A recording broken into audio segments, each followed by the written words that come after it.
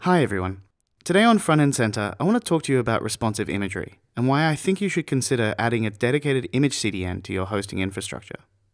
Responsive imagery is one of those topics in front end web development that seems way more complicated than it should be. It's a sort of problem that confronts virtually every website out there. Every site has images, and yet the solutions always feel overcomplicated. Today I'm going to show a no-fuss approach to working with responsive images using an image CDN that gives us some big benefits for a small amount of work. First, it's probably worth considering the extent of the problem.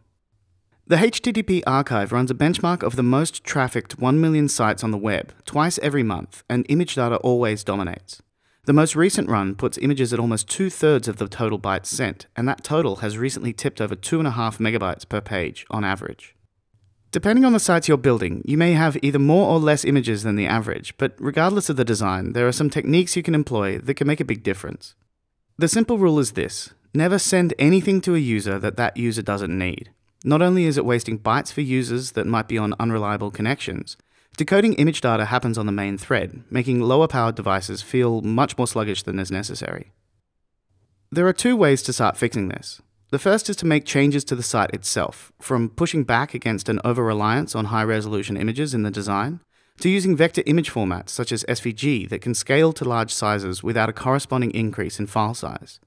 You can also integrate tools that can compress the size of your resulting files with no or little visual change.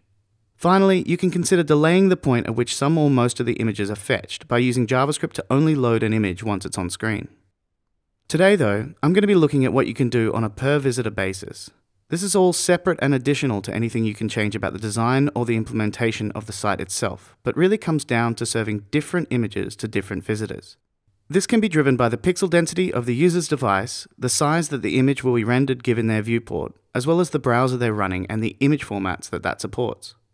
Taken together, it can turn out to make a pretty big difference to the weight of the images you send, on top of any work you do to need fewer or lighter images in the first place. But there's one thing we need to talk about before we move on, which is the humble image tag. Browsers have been expecting images to be referenced in this way since the beginning of the web, and they've made some optimizations. If a browser sees an image tag in a HTML response, it will immediately go and fetch it, without first waiting to see if it's visible or even waiting for the rest of the HTML to download. This is a good heuristic because most of the time the image will be visible, and you should start fetching it as soon as possible. This is one of the reasons why it's so much better to serve real markup to a browser rather than a blank page and then rendering everything with JavaScript, even if your JavaScript bundle is quite small. That's a topic for another time, but it's something you should be aware of when considering approaches to responsive images that require JavaScript or CSS to be loaded first. When most people think about responsive imagery on the web, they think of the new additions to HTML that are designed to support it. They are the picture element and the source set attribute. They're good at what they do, but for a few reasons that I'll get into, I don't think they're quite enough on their own. Let's look at an example. We can use the source set attribute to instruct the browser that we have a higher resolution version of a particular image. If a browser on a Retina device sees this image tag, it will load the higher quality image. Otherwise, it'll use the one specified in the source tag. What's great about this is that if a browser doesn't support source set, it will simply ignore the attribute and load the original image like normal. No matter what, the browser will know exactly what image it's going to load as soon as it encounters the tag. What about something more complicated though, like if you have three different sizes of image? Well, when you reference each image in the source set, you need to instruct the browser as to how big those images will be if it fetches them. You do that by putting a pixel value after each image URL. Then you need to tell the browser how big the image will be rendered at. This indicates that the image will be rendered at 100% the width of the viewport, Again, this extra information is required by the fact that the image tag has to stand alone. The browser has to be able to decide which image to fetch based just off the information here. If the image will be rendered at different sizes depending on the viewport, you can add media queries to the sizes attribute. Here we're saying that above 600 pixels, the image is rendered at only 60% of the viewport. This is starting to get pretty complicated, because this kind of markup has to be duplicated for every image you want to serve in this way. And you need to make sure that it's kept in sync with the CSS that's actually rendering the image, otherwise the browser might be making the wrong decision. But if you think that markup is bad, it's about to get worse. Because the three universal image formats, JPEG, PNG, and GIF, aren't the only ones browsers support. Internet Explorer and Edge support a Microsoft format called JPEG XR, and Blink based browsers like Chrome and Opera support WebP by Google. They both usually save at least 20% file size compared to JPEGs of the same quality, but I've seen photos that get reduced by half when converted to these formats. I think it's simply too good an optimization to pass up. If you try to specify all three formats in HTML, you need to use the picture element and three separate sources. A browser will evaluate each source tag, see if it supports the MIME type you've specified, and load the first one it matches. So make sure to put your better image formats first. The markup is quite complicated, but for me what's worse is the fact that I now have 9 different image files to worry about. Every time I want to change this image, I need to make sure that all the files are updated at the same time. Most people think of an image CDN as just solving this particular problem. You upload a single master image to the CDN and tell it all the sizes and formats to generate. Which is useful, but to me it's nowhere near as useful as using the CDN in between your customers and your site. Here you've made the CDN an on-demand image processor, and it turns out to be tremendously powerful. You simply construct a URL with some metadata about the image you want and then the URL of the source, and the CDN will go and fetch the image, process it, cache it, and return it. There is a slight delay the first time an image is fetched, but in my experience that's well worth the trade-off for how much simpler it makes everything. Not all CDNs support this interface, but most do. Today I'm going to use Cloudinary for the demo because it's got quite a generous free tier, so it's a good one to get started with. I've also used Responsive IO in the past and thought I should also mention Imgix, which is used by Unsplash.com, which is where I get all my test images. There are lots more out there, but these three all seem to be quite good. If we take our source set example from before, instead of having to generate each of these images, we can simply ask our image CDN for the sizes we want. So adding or changing one of the sizes is really simple, whereas before we would have had to reprocess every image on our site. If we look at our picture example from before, we can simplify things. We could ask the CDN to generate each of the formats we're interested in, but it turns out we don't even need to do that. Most providers support an automatic image format, where the CDN will determine the best format to send each browser, based on the user agent in the request. For Cloudinary, that format is called f_auto. It means you don't have to worry about transcoding any images or complicating your markup. And while depending on user agent as a proxy for feature detection is usually a bad idea in your own code, that doesn't really apply here. The image CDN simply needs to invest the time in keeping their user agent list up to date, which, as part of their core offering, is a reasonable expectation. Back to the code though. I think this is a pretty decent compromise. The markup will still be immediately understood by the browser and the right image will be served every time but I don't need to maintain a library of different sized images and formats. Personally, I try to keep my sizes attribute as simple as possible, only using this technique for things like large banner images that are going to be visible immediately and fill the width of the screen. This is already a big improvement over managing these images yourself, but what about the cases where there's no way to know the exact size or even shape an image will be rendered without first loading the CSS? Well, we can't use source set or the picture element in that case, but we can still use an image CDN and a small amount of JavaScript to get a really effective result. Note that we're no longer able to take advantage of the browser's preloading optimization from here on, but let's look at a case where that trade-off is worth it. The first thing you need to do is set up an account, which takes only a few seconds. The thing I like about Cloudinary is that it works straight away. You get a decent amount of storage and bandwidth for free, and so it only takes a few minutes to give it a try. The one thing I would recommend you do before you start is restrict the domains that you'll fetch images from. Otherwise, people could use your account to manipulate images from anywhere, and you'd be paying the storage and transfer costs. There are some additional security measures like signed URLs, but this is usually good enough. Okay, so let's look at our demo for today. We have an image grid with a bunch of divs with background images, all coming from Unsplash. These are the raw full resolution images, and so we're downloading 35 megabytes of data for just 7 files. So let's fix that by resizing them all down to, say, 450 pixels wide. We do that by simply prefixing the URLs for each background image with the CDN fetch URL, followed by the resize instruction that you want. In this case, it's W450 to mean resize to 450 pixels wide. Notice that the URL also includes our username fecdemo, so these requests will be attributed to our account. Now for those seven files, we're only sending 191 kilobytes of data, which is a pretty massive improvement.